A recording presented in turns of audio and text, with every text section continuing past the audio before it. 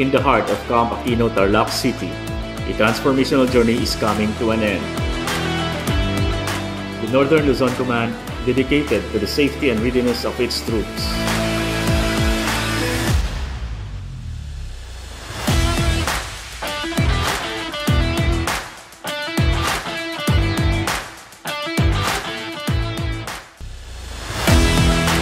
On August 21, NOLCOM embarked on a path to empower its soldiers, introducing the Aikido Martial Arts Training Program.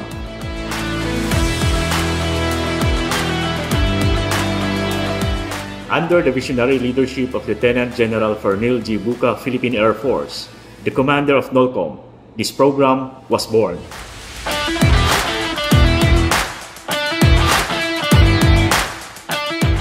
This comprehensive training, under the guidance of renowned Aikido instructor, Mr. Primo Arbon Jr. III, offered two critical courses, the Basic Aikido course and the Advanced Aikido course.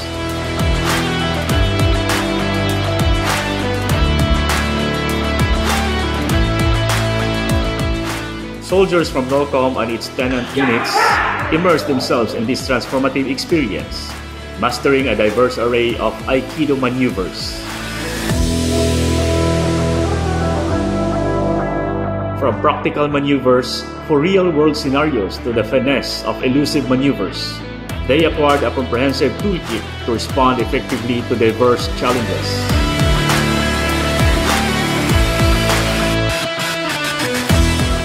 The commander of NOLCOM emphasized this endeavor reflects NOLCOM's commitment to the holistic preparedness and personal development of its personnel. Aikido training is an efficient way to promote physical fitness and agility among our personnel. Further, this is a suitable training to complement the combative skills of our military personnel. It also develops the warrior ethos of our men and women in uniform. Thank you very much to my classmate, Mr. Primo Arbon Jr. III, for extending his passion to teach our soldiers.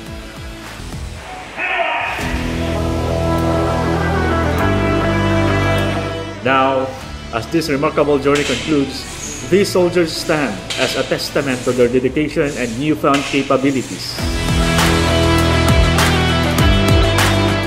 The impact of this training is profound. Graduates share their experiences and newfound confidence, ready to face the future as more capable soldiers.